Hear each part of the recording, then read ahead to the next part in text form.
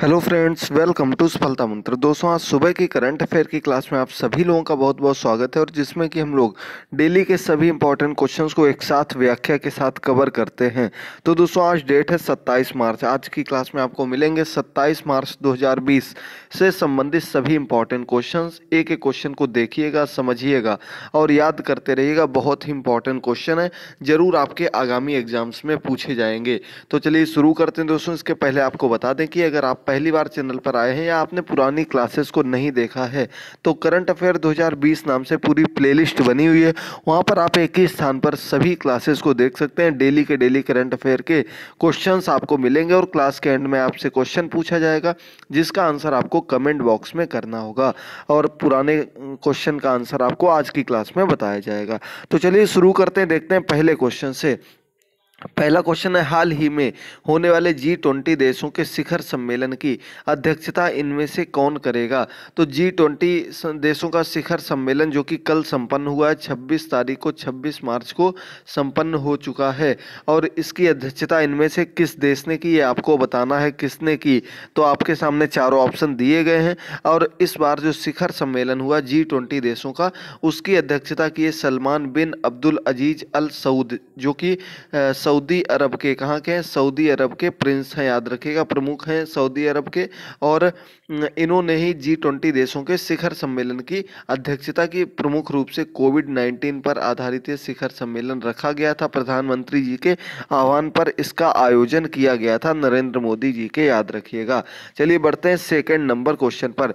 हाल ही में वित्त मंत्री ने आयकर से संबंधित समय की सीमा को बढ़ाकर कितना कर दिया है? तो दोस्तों, आयकर से संबंधित जितने भी काम होते थे, चाहे वो आपका जो पैन कार्ड से आधार कार्ड अटैच करने का हो, या फिर सीमा जो आयकर रिटर्न है, वो भरने की डेट हो, लास्ट डेट को बढ़ा दी गई है और अब इसको कितना कर दिया गया? चारों ऑप्शन आपके सामने दिए गए। जल्दी से आंसर ज़रूर करते रहिए प्रत्येक क्वेश्चन का। तो इसका भी दोस्तों, आपका डी नंबर ऑप्शन सही हो जाएगा। तीस जून 2020 ये इसका समय सीमा बढ़ाकर कर दी गई। है प्रत्येक आयकर से संबंधित, इनकम टैक्स से संबंधित काम की सीमा जो कि 31 मार्च होती थी, उसे बढ़ा करके 30 जून कर दिया गया है। तो इसका आपका डी नंबर ऑप्शन बिल्कुल सही हो जाएगा। आगे बढ़ते हैं थर्ड नंबर क्वेश्चन पर। किस संस्थान ने हाल ही में अपने रोगियों के लिए टेली परामर्श सुविधा का ऐलान किया है? तो दोस्तों, हाल ही में एक मेडिकल संस्थान ने अपने रोगियों के लिए जो कि कोविड नाइन्टीन से संक्रमित नहीं है, ऐसे रोगियों के लिए याद रखिएगा जो कि कोरोना वायरस से संक्रमित नहीं है, अलग मरीजों के लिए टेली परामर्श सुविधा का ऐलान किया है। ये टेली परामर्श सुविधा जो लागू की गई है, ये एम्स में लागू की गई है। इसका आपका ए नंबर ऑप्शन बिल्कुल सही हो जाएगा। एम्स संस्थान में हाल ही में अपने रोगियों के लिए टेली परामर्श सुविधा का ऐलान कर दिया है। तो इसका आपका थर्ड नंबर ऑप्शन क्वेश्चन का ए ऑप्शन सही हो जाएगा। चलिए आगे बढ़ते हैं। फोर्थ नंबर क्वेश्चन पर। क्वेश्चन दिया गया, किस राज्य ने कोविड 19 महामारी को रोकथाम के लिए मो जीवन योजना की शुरुआत की है? दोस्तों, योजना का नाम याद रखिएगा। पहले मो जीवन योजना है। कोविड 19 महामारी की रोकथाम के लिए, जैसे कि आप देख रहे होंगे, प्रत्येक राज्य में पूरे केंद्र सरकार, राज्य, देश सबके माध्यम से कोई ना कोई आयोजन या फिर किसी न किसी रूप में महामारी को रोकने के लिए आपको घर में लॉकडाउन किया गया है। इसी सीरीज़ को, इसी कार्यक्रम को आगे बढ़ाते हुए एक राज्य ने मो जीवन योजना लॉन्च की है। और ये लॉन्च की गई उड़ीसा में। कहाँ पर इसका आपका बी नंबर ऑप्शन सही हो जाएगा? नवीन पटनायक जी, जो कि वहाँ के मुख्यमंत्री हैं, इनके द्वारा इस योजना का ऐलान किया गया। मो जीवन योजना के अंतर्गत प्रत्येक जो भी व्यक्ति घर में रहते हैं, उड़ीसा में रह रहे हैं, उनको शपथ एक दिलाई जा रही है कि वो लोग घर से नहीं निकलेंगे, किसी भी कारण से। बहुत ही अर्जेंट हो, तभी निकलेंगे। और हम भी आप सभी से शपथ दिलवाना चाहते हैं दोस्तों, कि आप लोग भी अपने घरों से बिल्कुल भी मत निकले। आप लोग स्थिति देख रहे हैं। पूरे विश्व की इस समय क्या स्थिति बनी हुई है? इटली के बाद स्पेन के भी हाल बहुत ही ख़राब हो चुके हैं। वहाँ पर लगभग चार हज़ार लोगों की डेथ हो चुकी है। और ये स्थिति सबसे जो बहुत अच्छे अच्छे देश थे, जो सुविधा संपन्न देश थे, उन देशों की स्थिति बनी हुई है। इसी वजह से सरकार बहुत ही बहुत ज़्यादा तेज़ी से आप सबको घरों में बंद रहने के लिए बहुत निवेदन भी कर रहे हैं। इसके अलावा लाठी चार्ज वगैरह भी करना पड़ रहा है क्योंकि काफ़ी लोग जो है वो मानते नहीं हैं। तो उम्मीद करते हैं आप लोग मेरी बात को ज़रूर मानेंगे और घर पर ही रहेंगे। जो लोग घर पर रह रहे हैं उनका बहुत बहुत धन्यवाद दोस्तों। फाइव नंबर क्वेश्चन है, माइक्रोसॉफ्ट ने किस देश के साथ ए आई बॉट क्लारा बनाने के लिए समझौता किया है। तो दोस्तों, ये एक ए आई बॉट क्लारा है जो कि प्रमुख रूप से कोविड नाइन्टीन से संबंधित जानकारी प्रदान करेगा। उसी से संबंधित है कि chat bot A I artificial intelligence पर आधारित बॉट है। तो इस बॉट का जो माइक्रोसॉफ्ट कंपनी है, इसने अमेरिका की सीडीसी जो वहाँ की केमिकल की प्रमुख विभाग होता है, उसके साथ मिलकर के इस एआई बॉट को बनाया है तो इसका आपका सी नंबर ऑप्शन दोस्तों बिल्कुल सही हो जाएगा फाइव नंबर क्वेश्चन का। याद हो गया होगा, चलिए बढ़ते हैं सिक्स नंबर क्वेश्चन पर। हाल ही में वित्त मंत्री ने कितनी धनराशि का आर्थिक सहायता पैकेज की घोषणा की है? दोस्तों, हाल ही में वित्त मंत्री के द्वारा जो आपका राहत देने के लिए, सर, जनता को राहत देने के लिए एक आर्थिक पैकेज लॉन्च किया, जो कि प्रमुख रूप से मेडिकल आर्थिक पैकेज है, जो कि आपको प्रत्येक नागरिक को इसका लाभ मिलेगा। और ये पैकेज दोस्तों एक दशमलव सत्तर लाख करोड़ रुपए का पैकेज है। बहुत बड़ा पैकेज लॉन्च किया। इसके अंतर्गत प्रधानमंत्री किसान सम्मान निधि का, वालों को रुपए दिया जाएगा। इसके अलावा अन्य योजना के अंतर्गत गेहूँ, चावल फ्री दिया जाएगा। और जो जनधन वाले उनको पाँच सौ रुपये खाते में दिया जाएगा। अन्य भी बहुत सी योजनाएँ लॉन्च की गई हैं। ये सभी योजनाएँ आर्थिक सहायता पैकेज के अंतर्गत आई हैं। तो सिक्स नंबर क्वेश्चन का ए ऑप्शन सही हो जाएगा। पूरे पैकेज का जो बजट है वो एक दशमलव सात लाख करोड़ है, याद रखिएगा।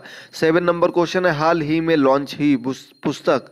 Missing in in action the prisoners who never came back किसने लिखी? बहुत अच्छी बुक है, बहुत अच्छी बुक इसलिए कह रहे हैं क्योंकि सैनिकों पर आधारित है और ऐसे सैनिकों पर आधारित है जो कि युद्ध के दौरान कहीं ना कहीं गायब हो गए, कहीं ना कहीं चले गए जो दोबारा लौट कर नहीं आ पाया। ऐसे सैनिकों से बातचीत करके, ऐसे सैनिकों के बारे में जो विचार हैं, उनको रख कर के ये पुस्तक तैयार की गई। और इस पुस्तक के लेखक की बात करें तो दोस्तों, ये लेखिका है और ये बहुत बड़ी पत्रकार है, वरिष्ठ पत्रकार चंदर सुता डोगरा। इनके द्वारा ये पुस्तक लिखी गई है, जो कि सैनिकों पर आधारित है। याद रखिएगा इंपॉर्टेंट क्वेश्चन यही बनता है कि सैनिकों पर आधारित पुस्तक है। याद करते रहिए, प्रत्येक क्वेश्चन को, सब कुछ आपको पूरी व्याख्या के साथ बताते हुए चल रहे हैं। उम्मीद करते हैं प्रत्येक क्वेश्चन आपको साथ में ही समझ में आ रहा होगा। एर्थ नंबर क्वेश्चन है, देखिए, किस देश ने मलेरिया रोधी दवा हाइड्रोक्सी क्लोरोक्विन के निर्यात पर रो रोक लगा दी है। दोस्तों, ये कि मलेरिया की बीमारी की दवा है हाइड्रोक्सिल क्लोरोक्विन इस दवा के निर्यात पर रोक लगा दी, यानी कि अब ये दवा विदेशों में अन्य स्थानों पर नहीं भेजी जाएगी। ऐसा किस देश ने किया और क्यों किया है? तो सबसे पहले आंसर की बात करें तो दोस्तों, इसका आपका डी नंबर ऑप्शन बिल्कुल सही हो जाएगा। डी नंबर ऑप्शन सही हो जाएगा। तो दोस्तों, आपको बता दें कि भारतीय वैज्ञानिकों ने व अन्य देश के वैज्ञानिकों ने भी एक, इस एक पॉसिबिलिटी जारी की थी। एक बताया था कि हाइड्रोक्सी क्लोरोक्विन से कोविड नाइन्टीन की दवा बनाई जा सकती है। उस पर परीक्षण चल रहे हैं। कुछ ना कुछ मदद भी मिली है इसमें। तो इसी कारण से दोस्तों हाइड्रोक्सी क्लोरोक्विन को निर्यात करने पर रोक लगा दी है ताकि अपने देश में दवा की कमी ना पड़े। बाद में अगर ज़रूरत पड़े, जो भी इसके फॉर्मूले वगैरह सब पर रोक लगा दी गई कि किसी भी रूप में दवा बाहर ना भेजी जाए। तो इसका आपका डी नंबर ऑप्शन सही हो जाएगा। अमेरिका भी काफ़ी तेज़ी से कोविड नाइन्टीन की दवा बनाने में लगा हुआ है और इसने भी लगभग दो तीन ऐसे सैंपल तैयार किए हैं। ऐसी दवाओं को ढूंढा है, जो कि मलेरिया, डेंगू के यूज़ में आती थी और इन पर परीक्षण किए जा रहे हैं। अगला नाइन नंबर क्वेश्चन है, हाल ही में किस राज्य ने एसेंशियल सर्विसेज़ वालों के लिए ई पास जारी किया। दोस्तों ई पास है। इस वजह से क्वेश्चन को पहले समझिएगा। वैसे तो प्रत्येक राज्य ने पासेज जारी किए हैं अपने नागरिकों के लिए, अपने जो ज़रूरतमंद सामान बेचते हैं उन सब के लिए, लेकिन ई पास कहाँ पर जारी किए गए हैं? अगर आप लोगों ने न्यूज़ कल की देखी होगी तो आपको ज़रूर पता होगा, दिल्ली के सीएम अरविंद केजरीवाल ने परसों और कल दोनों दिन प्रेस कॉन्फ्रेंस करके बताया था कि दिल्ली में जो जितने भी दुकान वाले हैं, जितने भी ठिलिया वगैरह वाले हैं, उनको ई पास जारी किए जाएँगे। ई, इस ई पास के माध्यम से वो लोग अपने दुकानों को खोल सकते हैं, लगा सकते हैं तो इसका आपका सी नंबर ऑप्शन बिल्कुल सही हो जाएगा। दोस्तों सोशल डिस्टेंसिंग ज़रूर मेंटेन रखें। जिनको किसी कारण बस बाहर भी जाना पड़ रहा है तो वो लोग सोशल डिस्टेंसिंग ज़रूर रखें। लगभग डेढ़ मीटर से दो मीटर की दूरी प्रत्येक व्यक्ति से बनाए रहें और बाहरी व्यक्ति के संपर्क में बिल्कुल भी ना आए, चाहे वो आपके किसी परिवारिक जन से मिलकर आपसे मिल रहे हो। यानी कि आपको एक ये इस बात को ज़रूर ध्यान में रखना है, बचत करनी है कि किसी भी बाहरी व्यक्ति के संपर्क में बिल्कुल भी नहीं आना है, किसी भी रूप में। अगला टेन नंबर क्वेश्चन है किस राज्य ने खेलों को बढ़ावा देने के लिए माताओं के सहयोग से सामाजिक नवाचार की शुरुआत की है? दोस्तों, एक राज्य ने अपने राज्य में खेलों को बढ़ावा देने के लिए जो बच्चे हैं, उनकी माँ के सहयोग से सामाजिक नवाचार को बढ़ावा देने की शुरुआत की गई है, ताकि बच्चे खेल में प्रोत्साहित हों और आगे निकलकर कुछ बड़ा कर दिखाएँ। ऐसा करने के वाला ये राज्य बना है हरियाणा। इसका आपका बी नंबर ऑप्शन सही हो जाएगा। वैसे भी हरियाणा राज्य जो है खेल के मामले में काफ़ी अग्रसर है। जितने भी अभी तक ओलंपिक में या किसी भी गेम्स में जितने भी मेडल वगैरह जीते गए, ज़्यादातर उनमें लगभग 60 50 60 परसेंट सिर्फ़ और सिर्फ़ हरियाणा राज्य से ही होते हैं। तो याद रखिएगा दोस्तों, इसका आपका बी नंबर ऑप्शन सही हो जाएगा। दोस्तों, अब हम लोग एंड की ओर बढ़ रहे हैं। इसके पहले आपको बता दें कि आज से कल शाम से आपकी कल, शाम की क्लास भी स्टार्ट कर दी गई है। आप लोगों ने क्लासेस को ज़्यादा सपोर्ट नहीं किया, देखा नहीं है। उसमें हमने आपके सी के एक हज़ार प्रश्नों की जो सीरीज़ चल रही है, उसके इंपॉर्टेंट क्वेश्चंस कवर किए थे। क्लास नंबर फोर्टीन थी। और ऐसी ही आपकी सुपर टेट बी की क्लासेस भी जल्द ही लाने वाले हैं। बस आप लोग पूरा सहयोग करते रहिए, अपना सपोर्ट दिखाते रहिए। क्लासेस को अगर आपके मतलब की नहीं है तो कम से कम शेयर करते रहिए। दोस्तों, आपके लिए इतनी मेहनत से सभी क्लासेस तैयार करते हैं और आप लोग नहीं देखते तो थोड़ा मेहनत बेकार हो जाती इस वजह से बार बार दोस्तों आपसे कह रहे हैं। अब चलिए बढ़ते हैं हम लोग अगले क्वेश्चन की और अगला क्वेश्चन आपके सामने है। इन क्लासेस को ज़रूर देखते रहिएगा। क्वेश्चन दिया गया दोस्तों, देखिए जल्दी से। ग्रीष्मकालीन ओलंपिक जो आपके होने वाले हैं 2024 में। 2020 के बाद 2024 में प्रत्येक चार वर्ष के अंतर में ही आपके गेम्स का आयोजन किया जाता है। तो 2024 के जो ओलंपिक गेम्स हैं, इनका आयोजन कहाँ पर किया जाएगा? आईओसी ने इसको लेकर जानकारी दी थी, इंटरनेशनल ओलंपिक काउंसिल ने इसको लेकर जानकारी दी थी कि इनका आयोजन फ्रांस में किया जाएगा। ए नंबर ऑप्शन आपका बिल्कुल सही हो जाएगा, फ्रांस में इन खेलों का आयोजन किया जाएगा। याद रखिएगा इंपॉर्टेंट क्वेश्चन है और महत्वपूर्ण क्वेश्चन भी है। हालाँकि 2020 के ओलंपिक को एक वर्ष के लिए स्थगित कर दिया गया। उसके बाद अगर स्थिति सामान्य होती है तो इन खेलों को जारी रखा जाएगा। अन्यथा 2020 के ओलंपिक को रद्द कर दिया जाएगा। अभी हालाँकि रद्द नहीं किए गए, इस बात को ध्यान रखिएगा। महत्वपूर्ण क्वेश्चन है, इलेवन नंबर क्वेश्चन का। आपका ए ऑप्शन सही हो जाएगा। अगला और अंतिम क्वेश्चन है दोस्तों, भारत और किस देश की नौसेना ने रीयूनियन द्वीप से पहली बार संयुक्त गश्त का आयोजन किया? तो दोस्तों, भारत और एक अन्य देश की नौसेना जो है, जो नेवी की आर्मी है, उस, उसमें संयुक्त रूप से गश्त की है रीयूनियन द्वीप में।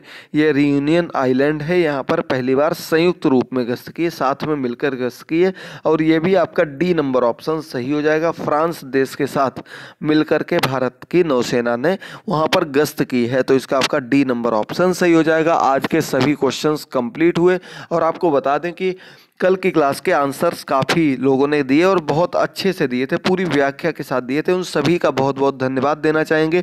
और अगर आपने कल की क्लास ना देखी हो तो तुरंत देखिएगा और कमेंट बॉक्स के आंसर ज़रूर पढ़िएगा। उन्हें लाइक करिएगा, शेयर करिएगा, शेयर नहीं होंगे, लाइक करिएगा और उन पर कमेंट करके अपने विचार ज़रूर रखिएगा। तो दोस्तों, अब आपका कल का प्रश्न था आईएमएफ।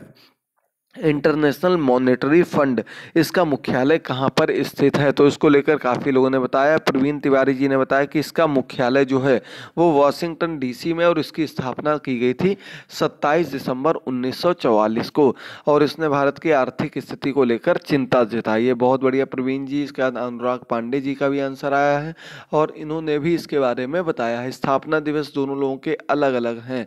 तो इसकी ये जब क्लियर हो जाएगा तब हम आपको बता देंगे उन्नीस सौ चवालीस है या फिर पैंतालीस है? वैसे ज़्यादातर चवालीस ही बताया गया है। यूएस शुक्ला जी ने भी इसका आंसर किया, उन्होंने भी बताई एक अंतर्राष्ट्रीय संस्था है। इसके अलावा मोहित श्रीवास्तव जी का, प्रांशु ठाकुर जी, अनूप तिवारी जी का आंसर आया है। इसके अलावा हाँ मीनाक्षी खंडेलवाल जी ने इसके एमडी भी बताई है। इनका नाम है क्रिस्टलिना लिगार्ड। याद रखिएगा इंपॉर्टेंट है। और चीफ इकोनॉमिस्ट हैं गीता गोपीनाथ, ये इन लोगों ने आंसर किए इसके अलावा राधा डांगर जी का आंसर आया, तारकेश्वर जी का, अंकित जी का, अर्चना जी का